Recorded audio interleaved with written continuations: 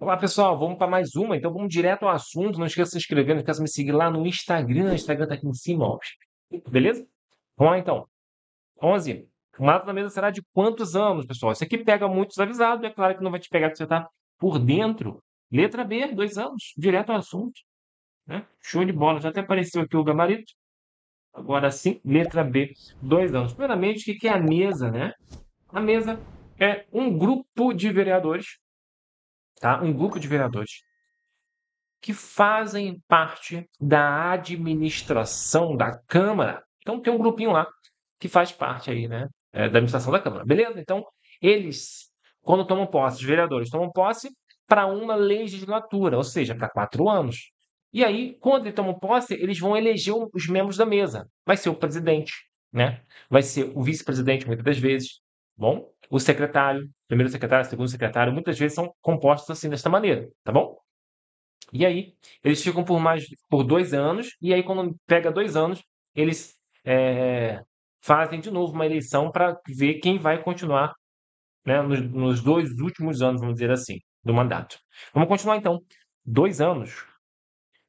Ó, vedada a recondução para o mesmo cargo na eleição imediatamente subsequente, exceto se ocorrida em outra legislatura. Né? Eu expliquei isso até em vídeo, bem explicadinho. Ou seja, é, vamos supor que eu seja presidente da mesa, e aí eu não posso vir novamente a presidente da mesa, tá? Eu posso vir a outro menos presidente da mesa. Exceto, pessoal, se eu fui eleito presidente da mesa nos dois últimos anos do meu mandato, né?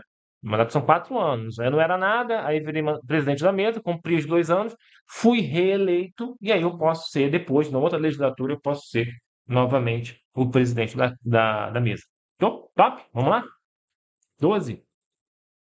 As comissões parlamentares de inquérito, ou seja, CPI, tá? terão poderes de investigação próprios de autoridades judiciais, elas podem investigar, além de outros previstos no regimento interno da Câmara, o regimento da Casa, né? Regimento interno é uma lei interna da Câmara, uma lei que vai dizer como que a Câmara vai funcionar. Serão criadas pela Câmara Municipal mediante requerimento de quanto, pessoal? Não pode esquecer, porque isso despenca em prova. CPI é requerimento de um terço dos vereadores. Um terço no mínimo, né, galera? No mínimo. Ou seja, é fácil, é fácil. Levando em consideração que duas barras tem é, nove vereadores, são três vereadores. Três vereadores pedindo, já pode abrir uma CPI. Vamos para investigar, por exemplo, sei lá, alguma coisa na saúde, na Secretaria de Saúde, algum, algum remédio ali muito esquisito que foi comprado, pode investigar um terço pedindo, tá bom? Aí vai criar essa comissão, vai criar um grupinho de vereadores também que vai ficar responsável por investigar e apurar os fatos. Um terço dos vereadores. Então, CPI, só botar aí, bonitinho, CPI, um terço dos vereadores, obviamente. Mais uma.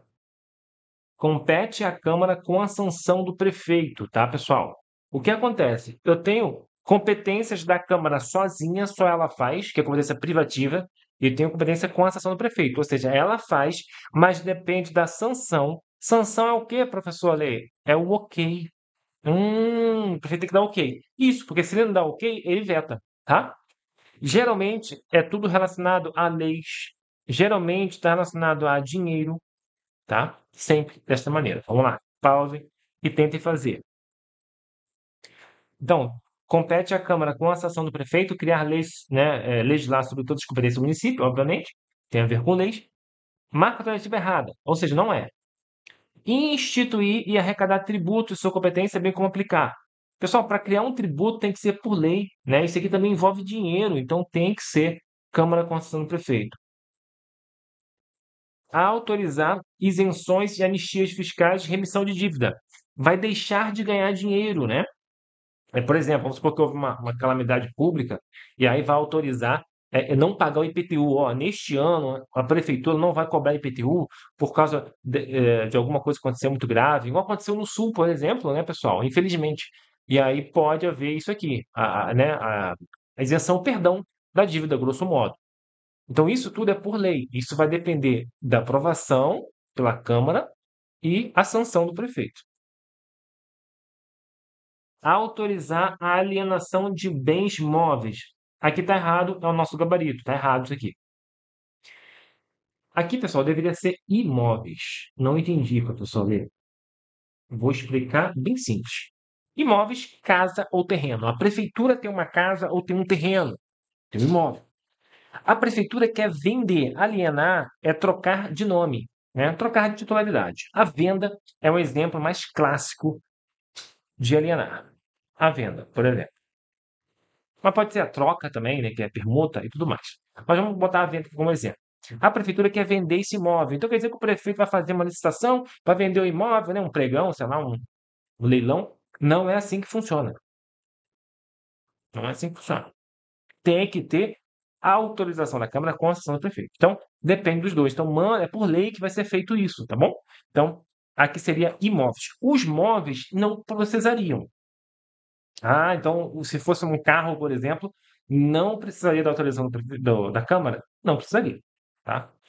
Mas aí, lembrando que depende dos dois. Autorizar a venda de uma casa da prefeitura depende dos dois, tanto da Câmara com a sanção do prefeito. Não é só da Câmara, obviamente. É claro que é a Câmara que vai votar, mas depende do prefeito dar o ok também.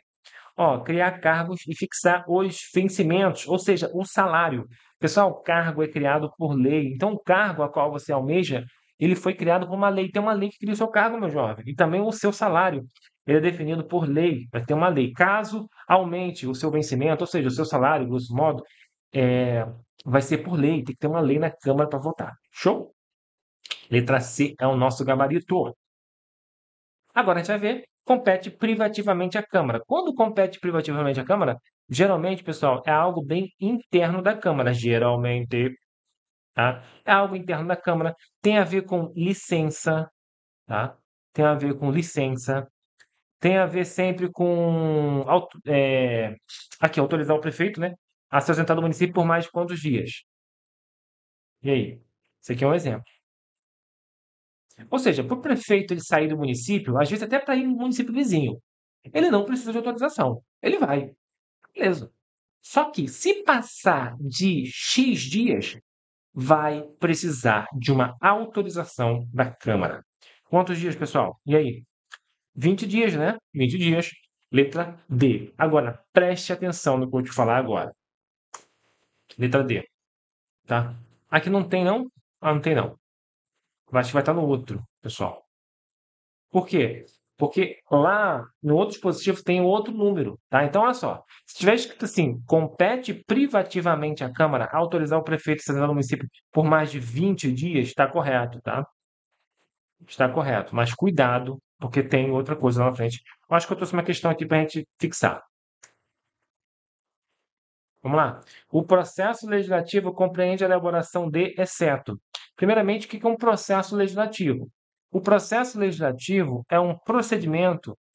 Tipo, pessoal, é a aprovação de leis, tá? Aprovação na Câmara. Até aqui, pronto. Na Câmara. Na Câmara. Vai ficar mais fácil ainda. Agora ficou fácil demais. A aprovação na Câmara. Show? Esse é o processo legislativo. Beleza. É, aprovação da Câmara. Então, o que, que vai ser aprovado na Câmara? As emendas de lei orgânica é aprovado na Câmara? Sim, faz parte do processo legislativo. Os decretos executivos fa é, faz parte da aprovação da Câmara? Não, está errado. É o nosso gabarito, que é aquela que não é, exceto. As leis complementares passam por aprovação na Câmara? Passam. As leis ordinárias passam por aprovação na Câmara? Passam também. São todas as leis aqui que passam. Os decretos executivos são os decretos que o prefeito faz, não vai para a Câmara. São coisas, muitas das vezes, do dia a dia, tá? Então, letra B é o nosso. Letra B, lembrando que tem todos esses aqui, tá?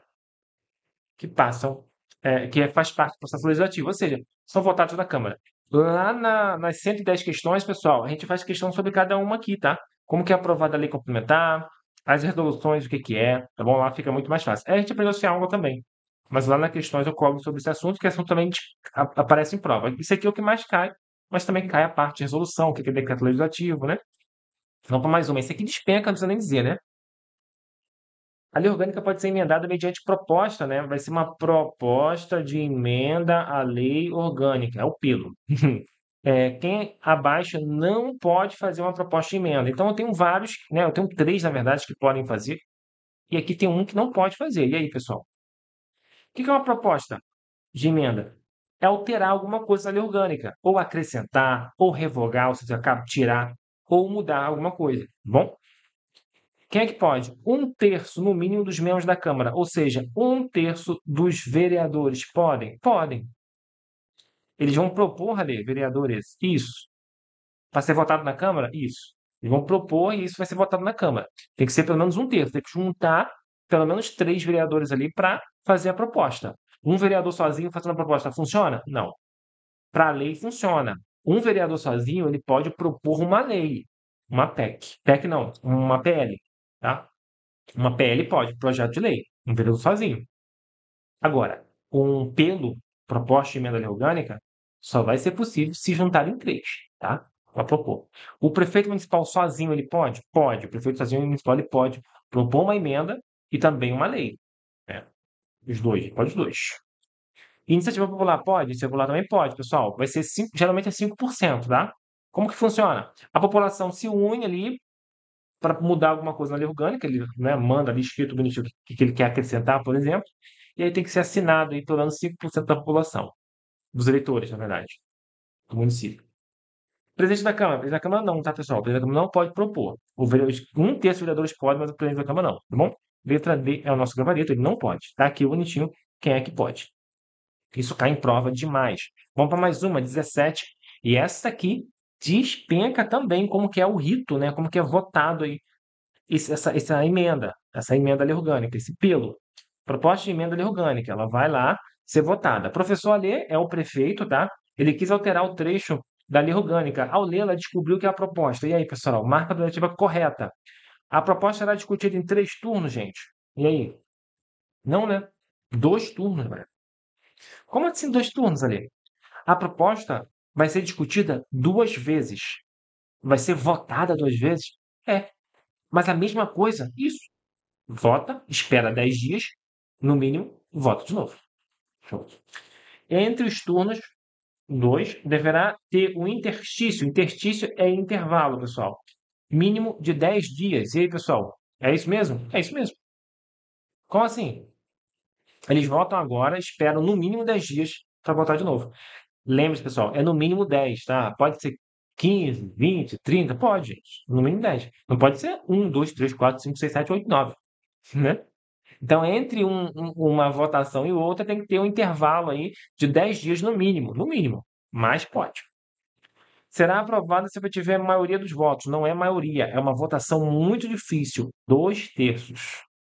Será aprovada se tiver um terço. Um terço não, são dois terços dos vereadores é, tem que aprovar, tem que dar ok, né? Tem que é, é, votar a favor para aprovar. Tá bom?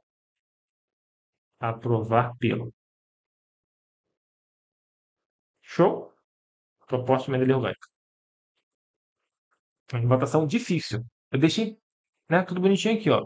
Dois turnos, intervalo mínimo, 10 dias, aprovada por dois terços. Bota aí grandão, dois terços para aprovar uma emenda à lei orgânica. Vamos continuar. 18. Assim que aprovada a emenda à lei orgânica, quem irá promulgar a emenda? Isso aqui despenca e prova. Eu já tenho um A de armadilha. Isso aqui é uma armadilha para você, uma arapuca. Por quê, pessoal? A gente está acostumado a sempre né, que o prefeito promulga. O que é promulgar? Promulgar é, é, é fazer valer, né? A gente chama de sancionar, promulgar e publicar. Geralmente os três ocorrem praticamente juntos. Sancionar dá ok, é o prefeito dando ok, promulgar e publicar é fazer valer, né? Na verdade, a promulgação ocorre até com a publicação juntos, né? Mas quem é que promulga? Quem é que vai publicar lá no Diário Oficial, bonitinho? Vai ser a, exatamente, a mesa, não é o prefeito. Ué, professor, não é o prefeito? Não. O prefeito, ele promulga leis. As leis aprovadas.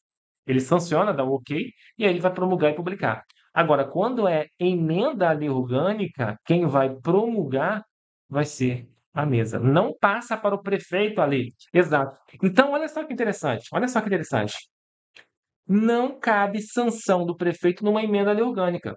Exatamente. Não cabe sanção do prefeito numa emenda à lei orgânica. O prefeito não tem que sancionar nada. Tem que dar o que em nada. O prefeito ele pode propor uma alteração, tá? mas depois que vai votar na Câmara, não depende mais dele. Vamos continuar. Letra D. 19.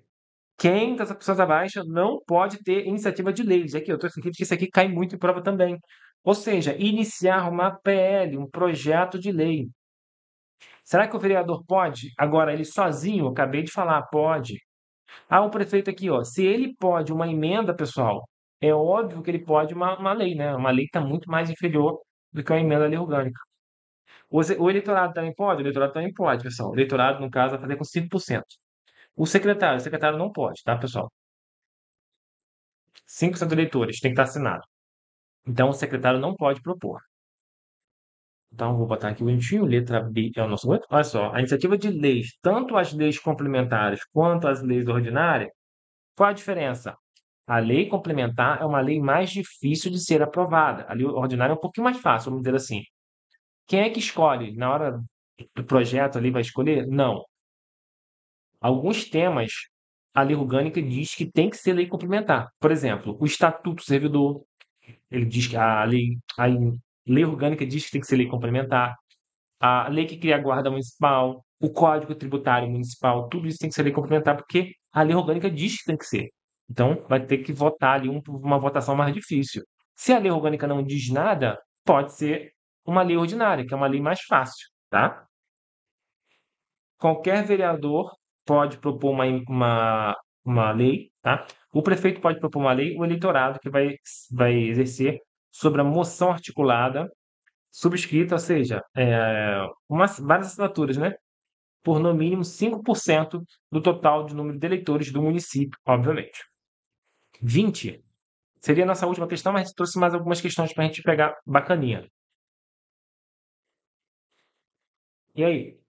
Decorrido da data fixada para posse, o prefeito e o vice, salvo motivo de força maior, não tiver assumido o cargo, ele será, este será declarado vago. Isso aqui é bem interessante, né? Porque geralmente as leis orgânicas elas trazem igual, né, igual o vereador e o prefeito. Assim, se o prefeito não toma posse, ele tem X dias para tomar. Se o vereador não toma posse, ele tem os mesmos X dias. A lei orgânica aqui é diferente, tá? A gente viu lá na, no vídeo anterior, nas questões, inclusive, o quê? O vereador ele tem 15 dias para tomar posse, ele tomar posse, né? Vou voltar aqui rapidinho, ó. ó rapidinho, coisa rápida. Ó. Aqui, show, ó, ó. Trouxe aqui, ó. A questão 10. O vereador que não toma posse, é, na data prevista, ele deverá fazer no prazo de 15 dias, tá? O vereador não tomou posse dia 1 de janeiro, ele tem 15 dias para tomar. Agora, olha só que interessante. Questão 20. Decorrido quantos dias da data da posse, né, o prefeito, salvo motivo maior, não tiver assumido o cargo, ele será declarado vago. Ou seja, o prefeito tem até exatamente 10 dias, tá? Para tomar posse, depois, né? Ele deveria tomar no dia 1 por exemplo, e tem mais de 10 dias para tomar posse. Caso contrário, ele, o cargo será declarado vago, ele não vai poder tomar posse mais, tá bom? Então é diferente, tá? Preste atenção quando eu falo de prefeito, aqui nesse caso, são 10 dias, são coisas que você tem que decorar, porque é muito cobrado em prova. Tá bom? Ó, decorrido 10 dias, o prefeito e vice se não tiver assumido o cargo, isso será declarado vago. É óbvio. Se ele estiver enfermo e tudo mais, ele vai poder tomar posse depois, né? Mais uma. Ah, isso aqui que eu falei para vocês, pessoal. Trouxe essa questão aqui para a gente discutir. Olha só. São duas. São. Não, vamos, vamos fazer primeiro. O prefeito e o vice, quando no exercício do cargo, não poderão, sem licença da Câmara, ausentar do município período superior a quantos dias? A gente viu que era 20 dias. Ou seja, o prefeito vice, para ele se ausentar do município por mais de 20 dias, ele vai precisar de uma autorização da Câmara. Mas aqui, pessoal, está diferente, tá? Lá foi o quê? Cabe à Câmara, né, compete privativamente à Câmara, é, autorizar o prefeito a se ausentar do município quando a ausência exceder 20 dias. Aqui está aqui, o prefeito e o vice, quando trabalhando, não poderão sair dessa Câmara se ausentar do município por período superior a quanto tempo? Letra B, 10 dias, metade. Tá? Professor ali, mas há uma, uma inconsistência na lei orgânica. Sim, não é comum. A lei orgânica tem, tem esse problema aqui. Olha só, letra B então, ó. O artigo 83 vai dizer o seguinte: o prefeito e o vice, eles não podem ser licença da Câmara se ausentar do município por período superior a 10 dias, sob pena de perda, sob pena de perda do cargo mandato. Show? Mas não pode. Beleza. Então, falou que o prefeito e o vice não pode, vai ser 10 dias. O prefeito vice não pode? 10 dias. Agora, se perguntar a você cuidado, artigo 42, compete privativamente à Câmara autorizar o prefeito de central do município, aí vai ter 20 dias. Então, quando falar assim, ah, compete privativamente à Câmara autorizar o prefeito, vai ser 20 dias, o dobro, tá bom? Mas isso aqui é a mesma coisa, não é, Ali? É a mesma coisa, só que há um erro aqui. Alguma coisa foi alterada e eles esqueceram de, um, de outro dispositivo e aí ficou por isso mesmo. Tá bom? Toma cuidado aí.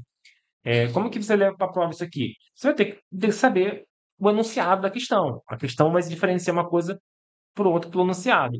Se falar sobre a competência privativamente, privativa da Câmara, que é uma coisa que a sua Câmara faz, você vai levar em consideração que são 20 dias. Se falar assim, ah, o prefeito e o vice ele não vai poder é, sem licença, né? Aqui já está licença, né? Outra coisa interessante, licença, ó. Licença, aqui é autorizar, tá? Outra, outra dica. Vamos continuar aqui. 22. De quem são as competências abaixo? Autorizar a realização de empréstimo, operação ou acordo externo de qualquer natureza de interesse do município. Quem autoriza empréstimo no município é a Câmara tá? Câmara. Outra coisa, solicitar a intervenção do Estado do município, também é a Câmara. Como que funciona isso aqui? O Estado ele pode intervir no município, pessoal. Como isso? Imagine que a saúde do município está um caos, nada funciona, e a Câmara solicita intervenção do Estado do Rio de Janeiro na saúde. É o que o Estado vem? O Estado toma conta da saúde. Pega a saúde para ela. Bom? Isso aconteceu com a intervenção federal no, na segurança pública do Rio de Janeiro, do Estado de Janeiro, né?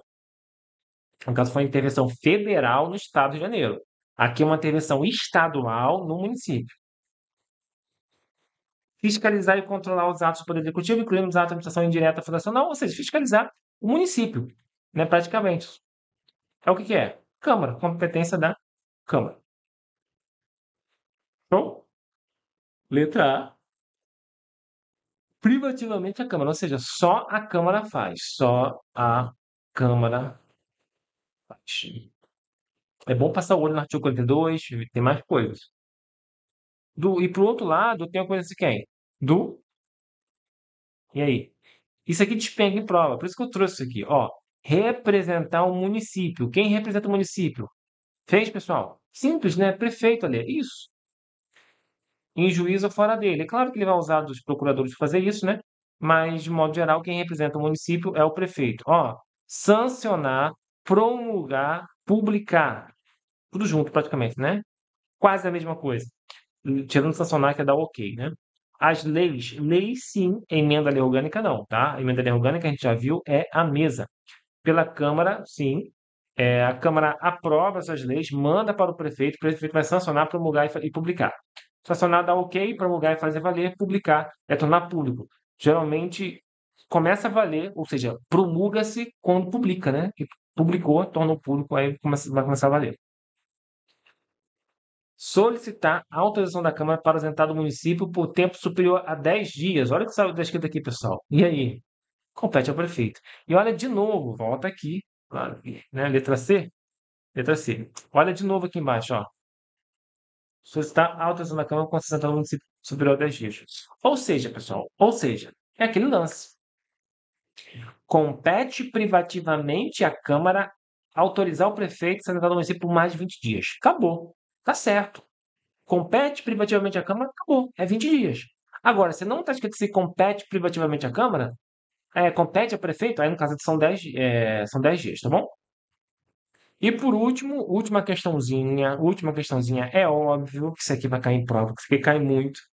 Segundo a lei orgânica, são estáveis, a estabilidade, após, muita gente sabe, e está atualizado, pelo menos aqui está atualizado.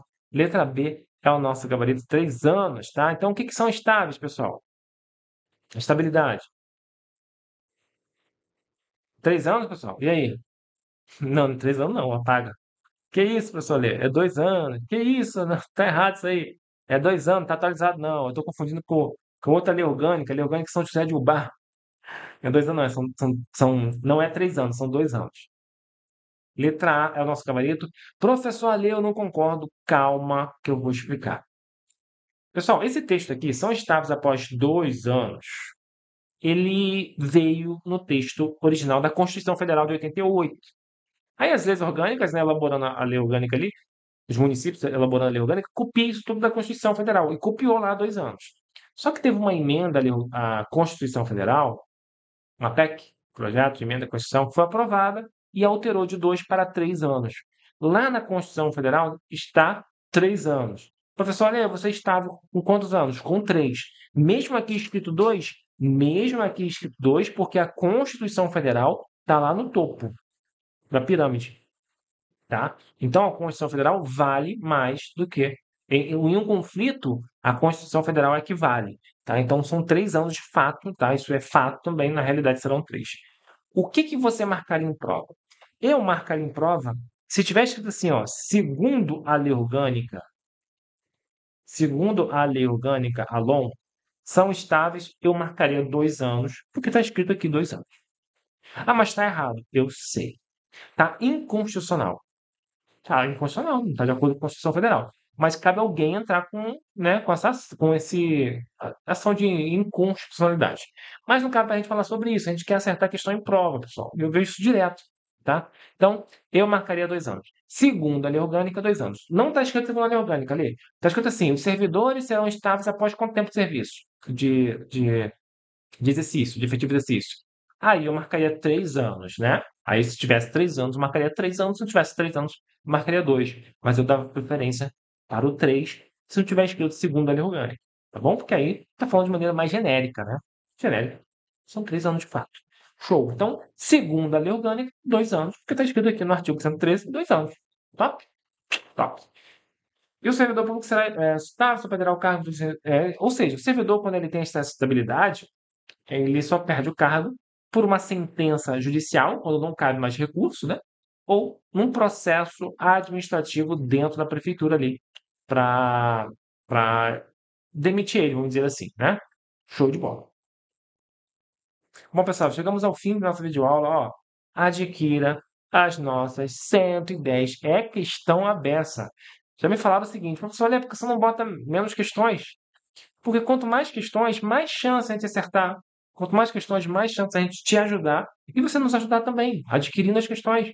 Então, vai um material muito bacana que vale muito a pena. Lembrando que toda, todas as questões são focadas no edital. Todas questões são corrigidas em vídeo, igual estou falando com você aqui. Só que lá me aprofundo muito mais, tem muito mais comentário. Você pode baixar o PDF com comentário, tá? Muito bacana. É só acessar o site aqui, ó, ssm.com.br, ou então clicar no link embaixo que eu vou deixar o link para você adquirir essas questões que vale muito a pena. É igualzinho tá aqui. Ah, muitas questões são aqui, essas aqui mesmo, tá? Esse, lembrando que esse aqui é o disparado que mais cai, mas tem muita coisa que cai que não deu para trazer aqui, que está lá nesse material mais completo. Show? Então, adquira as questões que valem muito a pena. Não esqueça de me seguir no meu Instagram, tá aqui bacaninho, tá? E fique com o Papai do Céu. Papai te abençoe. Não esqueça de ler a orgânica, é importante.